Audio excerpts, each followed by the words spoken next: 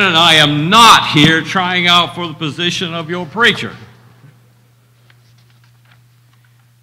I don't know about you, but I've had a good day today, and I know that you're tired because I'm tired. And uh, I shouldn't say this because my wife will tell you that the very minute I tell you I'm going to be brief, you can automatically tack at least 10 minutes onto it, but I'll try not to let that happen. When I was a student at Freed-Hardeman many, many years ago, Brother William Woodson was the chairman of the Bible department, and uh, he was quite uh, stern sometimes with us young preacher students, and so sometimes we would not uh, get right into the lesson, as it were, and he would simply interrupt and say, Get on with it. So if I don't get on with it, then we may never get done tonight. But as John Wayne would say in such a time as this, he said, Let's get on with the rat killing. So let's get to it. Romans chapter 6 and verse 16, the inspired account there bespeaks of two choices that befall all of mankind. Paul writes there, Know ye not that to whom ye yield yourselves servants to obey, his servants ye are, to whom ye obey, whether of sin unto death or of obedience unto righteousness. Just two choices sin unto death or obedience unto righteousness. You know, many people over the years, especially I recall from back in the 1960s in particular, people were clamoring, wanting to know what life was all about. And I still hear it from time to time. And people have posed that question to me What really is life all about? Well, there's a number of good answers to that question, a number of simple answers to that question. But I believe one, at least one good answer to that question is that life is all about choices. We all make choices by the dozens each and every day of our lives. Some of those choices are simple and mundane. Let's see, what color socks should I wear today? Does not have too much of, an effect on anybody but myself unless I choose one or two of two or three different colors. But other decisions that we make are much more profound. Some are all critical, even life changing. Some affect only ourselves, while others affect our loved ones. Sometimes choices and decisions can affect an entire nation and even change the course of history itself. When we hear the name Julius Caesar, a number of things come to mind. Shakespeare, I'm going to I'm to do this. I'm, I'm not your regular preacher, and, and, but I've asked every congregation I've ever preached for how many of you like Shakespeare? I find that the brotherhood as a whole does not like Shakespeare. At any rate, so therefore Shakespeare does not come to mind for you, okay? We can move on from there. But things like perhaps the Ides of March or Et tu, Brute or Roman togas and the like might come to mind. But in reality, Julius Caesar was indeed one of the most brilliant military minds in the history of warfare. However, that military genius, coupled with his political ambitions, not only made him one of the most colorful characters of the ancient world, but also made him a threat to the powers that be in Rome. 60 years before Jesus Christ was born in Bethlehem, he was appointed governor of Gaul. Gaul was in northern Italy on our maps. It was the northernmost province of the Roman Empire in the ancient world. And he was very popular with his men. Now, that's a very unusual thing for a Roman soldier and a Roman officer. Most of the time, they were quite brutal with their troops, and uh, his, their troops usually feared them greatly. Julius took care of his soldiers, saw to it they got fed, saw to it they got paid. He was very popular with his men. But eventually he was declared an enemy of the state of Rome and thereby ordered to disband his army. Now, if you are a student of history, and I spoke with a student of history this morning uh, a little bit, I wish he were here tonight, you may know that General Pompey was appointed to see to it that Julius Caesar disband his army. And so he took several legions of Rome and went north to meet Julius Caesar to make sure he had complied with the Roman Senate's demand. Well, anytime you set that kind of a stage and it becomes a fuel that can be quite volatile. And so, about 49 BC, Caesar faced a major decision in his life. He had a great choice to make. He could surrender, he could comply with Rome, or he could head south and face Pompey and the might of the Roman Empire. And is not unusual with such occasions, a geographical point played a part. There's a small river that separated Gaul and Italy. Known as the Rubicon. In some places, it's much more than just a small river, and in some places, not more than just a big stream. But here was the thing you could come south and get to the brink of the Rubicon. But if you dared cross the Rubicon with an army, it was considered an act of war. It was considered an act of treason. And it became a point of no return. Now, history does not record for us perhaps the, the agonizing hours spent before making such a decision. We don't know if, if Caesar stayed awake all night or perhaps days on end. We don't know if he was, uh, his digestion was out of whack. We don't know if he paced about. We don't know if he drank. We don't know if he consulted his other officers and, and deliberately and, and consciously decided whether to do this or not. But I can well imagine that he did. And so he decided to take his army and cross the Rubicon. On the southern side, he paused and shouted, A lacta lesta. A lacta Which means the die is now cast. In other words, we have crossed the river and we've made a choice but there's no going back. Hence our own proverbial phrases crossing the Rubicon and the die is cast. Now, I've told you all that to tell you this. That decision affected not only Caesar and his legions and their families, but all of the Roman Empire, he was successful in defeating Pompey. And it changed the course of history of Rome for generations. That one decision. Some decisions carry tremendous and even eternal consequences and weight. You know, John wrote in 1 John 3 and verse 4 that Whosoever committeth sin transgresses also the law. For sin is a transgression of the law. That word transgression there, literally in the Greek text, simply means a stepping across. I always think about old Caesar and his stepping across the Rubicon when I run across that word, especially when John wrote those words here. For sin is exactly that it's stepping across God's law.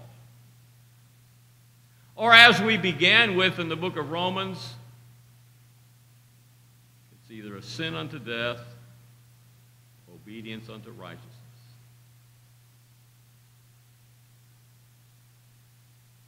All sin can be washed away by the precious blood of Jesus Christ, as Brother Bowling put it to us this morning. There is no sin whose stains cannot be removed when the gospel plan of salvation is observed and applied. However, the fact remains that some sin fall into what we might take license to call crossing the Rubicon, maybe even a point return. Now, that's not to say that the blood of Jesus Christ cannot and does not forgive each and every sin. There is no sin that you can commit that cannot be forgiven or washed away by the blood of Jesus Christ in your faithful obedience. But some sins carry a weight with them that an ocean of tears can't wash away the stains and guilt on our hearts that end up there because of them. Much like a pebble tossed into calm waters, that the rings go outward and outward and outward, far reaching. You know, the Golden Gate Bridge was opened in 1937. That was before my time. Maybe not much more, but it was before my time. Over 1,200 people since that time have jumped from the Golden Gate Bridge. I've always wanted to ride my motorcycle across the Golden Gate, but uh, the years are creeping up, and I doubt very much I'll get the opportunity to do that anymore. Not everyone who's jumped off of that bridge has lost their life. But those who survive are usually maimed in some terrible way. One such man was interviewed when he was in recovery in the hospital from his little plunge into the bay. And he said to the reporters, I knew. I knew the moment I let go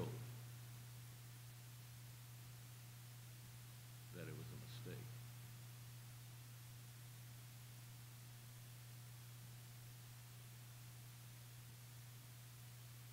Some things, some choices we make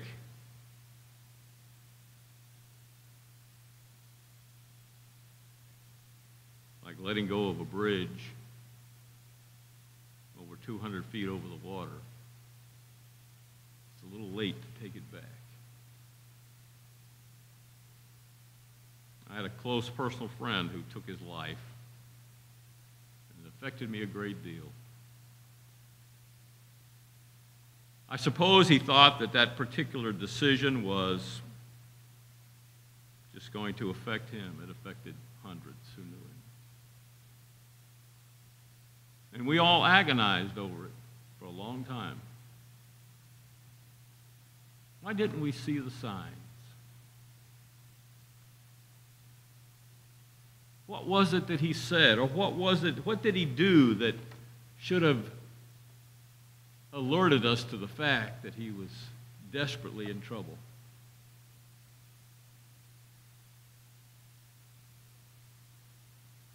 And here it's 25 years later. And I still wonder. You see, that choice, that decision affected a lot more people than him. I knew a sister in the church who, when she was a young girl, got herself in trouble while at school and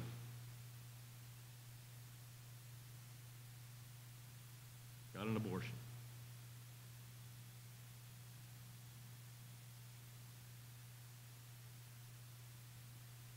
And as time went by, then she eventually married. Her and her husband, good friends of mine and Terry's, they have two great young children.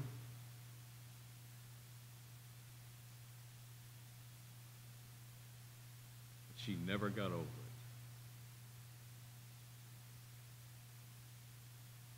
The blood of Jesus Christ cleansed that sin from our conscience, from our heart, a long time ago.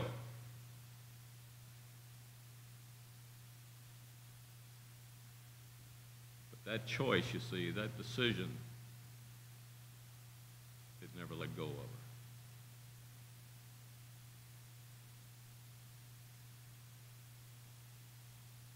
The effects of some decisions cannot be undone. Now, I'm old, I'm old enough to admit to you, and since I'm not trying out for the preacher job, I have made some poor choices in my lifetime. If all of us here tonight are honest with ourselves and with each other, we can freely admit, yes, I've made some poor choices in my lifetime. I've made a number of choices that I wish I could go back and change, but that's life. I told my wife not long ago, and I'm and let's just set the record straight. Um, Brother Tom never yells at his wife. And I told him flat out, and his wife today, I do yell at my wife. She's Irish, I'm Scottish, we're a fine, boisterous Gaelic couple and don't claim to be anything but that, but we love each other. Of all the mistakes and choices I made in my life, marrying Terry Garrison is not one of those things that I consider to be a mistake. She probably considers her end of it to be a mistake, but I told my son just this past week, I don't remember what brought it up now. I told my son Ryan, I said, you know something? I'm actually glad. And it took me 37 years to get to this point. 37, right? 37. I'm glad today that I didn't drown you when you were little. I'm even glad I did not yield to the temptation of selling you to the gypsies I don't remember what that was about. Something. I don't remember what it was about. But so I've kind of cleared my slate this week. Now, young people, us older folks are good about giving advice. Well, here comes a little more. Learn early in your life. Let's see, not this. Yeah, there's a couple on this side. Most of them right there. Learn early in your life that choices and decisions in your life can affect your entire life. Learn to consciously make good choices. Ones that will not bring you shame ones that will not despoil your good name. All of the young people in this congregation have a good name. We're all proud of you. I don't know most of you very well, but I know that this congregation, that the leadership here, that our elders, that our deacons, that our new preacher, when we find him. We'll be proud of you. And when I see you sitting here on a Sunday evening, you make me proud.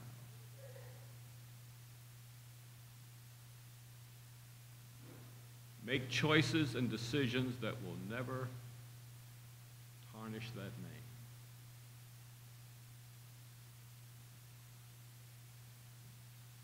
If something comes up and you are tempted, and I'm not going to list all the things that tempt young people, as many of them tempt us old folks too.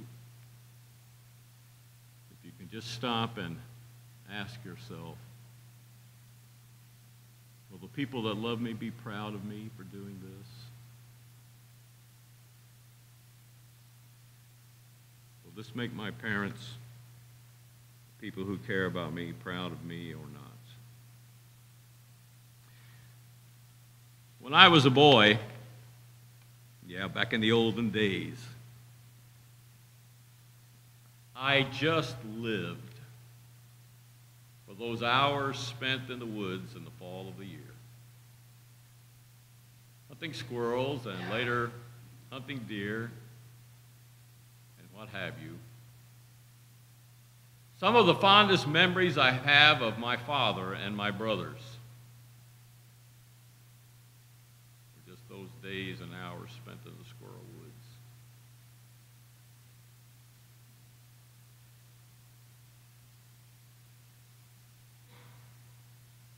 I guess it's a night for poetry because I'm going to read you one. This is one of my favorites. It's by Mr. Robert Frost. If you ever happen to travel up north and go to Vermont and you're in the little town of Bennington, be sure to go to the very ancient cemetery up on top of the hill where Mr. Robert Frost is buried there.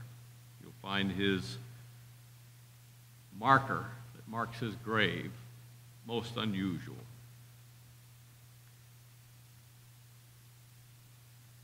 This poem reminds me of my father, and I read it at his funeral that I preached. Mr. Frost wrote, Two roads diverged in a yellow wood. And sorry I could not travel both and be one traveler. Long I stood and looked down as far as I could to where it, where it bent in the undergrowth. Then took the other just as fair, and having perhaps the better claim, because it was grassy and wanted wear. Though as for that for the passing there, had warned them really about the same, and both that morning equally lay, and leaves no step had trodden black. Oh, I kept the first for another day. Yet knowing how way leads on to way, doubted if I should ever come back. I shall be telling this with a sigh, somewhere ages and ages hence. Two roads diverged in a wood, and I. I took the one less traveled by. And that has made all the difference.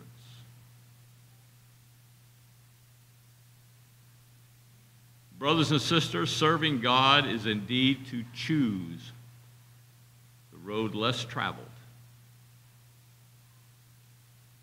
Joshua put it like this in Joshua chapter 24 And if it seem evil unto you to serve the Lord, choose you this day whom you will serve.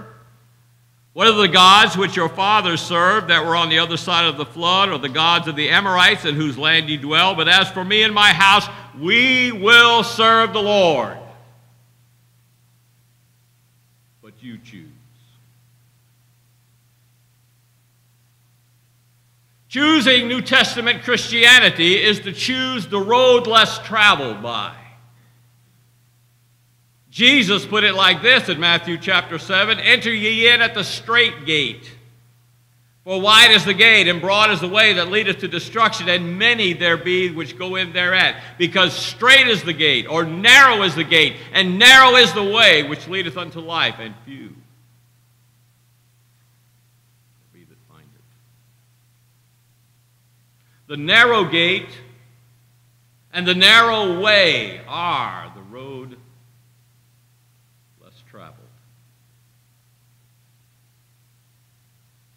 God put it this way in Deuteronomy chapter 30. I call heaven and earth to record this day against you that I have set before you life and death, blessing and cursing. Therefore, choose life, that both thou and thy seed may live, that thou may livest mayest love the Lord thy God, and that thou mayest obey his voice, that thou may cleave unto him, for he is thy life, and the length of thy days, that thou mayest dwell in the land which the Lord sware unto thy fathers, to Abraham, to Isaac, and to Jacob to give them. Now, make no mistake, choosing the road less traveled is not necessarily the easy road. Often quite the contrary.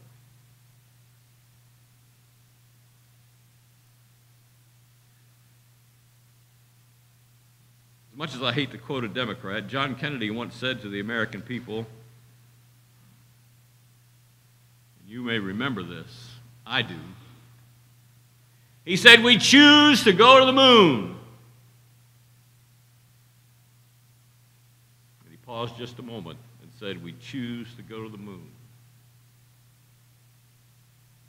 And then he said, We choose these things not because they are easy, but because they are hard.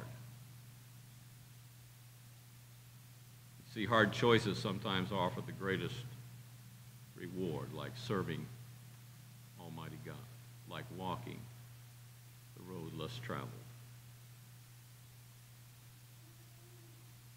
Brothers and sisters, the sad state of affairs in life is the fact that some choices simply never come around again.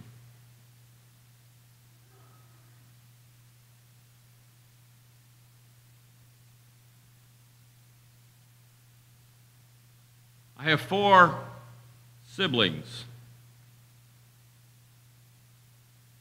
Two sisters younger than me, two brothers younger than me.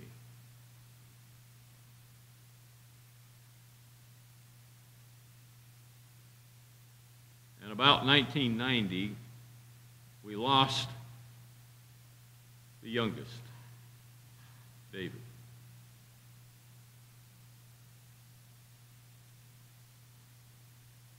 It was tragic. Parents don't usually get over that kind of thing. It was tragic because he was the youngest. At the time, he was 25.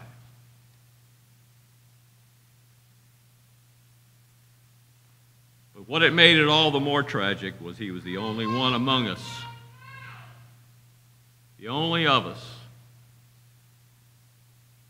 who'd never obeyed the gospel.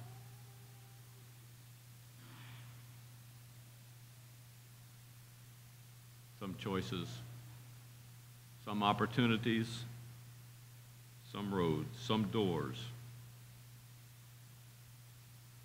never open again.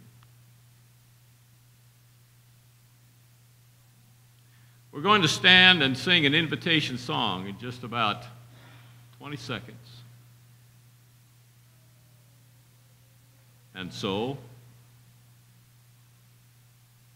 once again, there is a choice before you.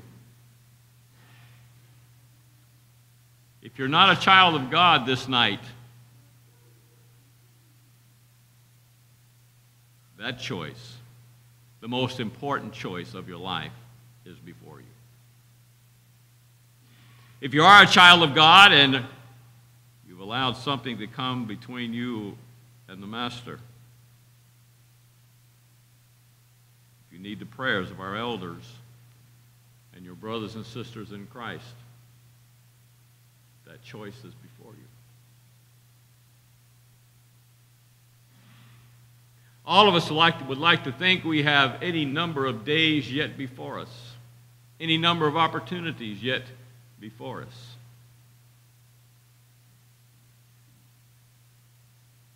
Maybe we do. Maybe we don't. What I'm suggesting to you this evening is if for some reason your relationship with the all with Almighty God is not what it ought to be, don't let another opportunity pass you by.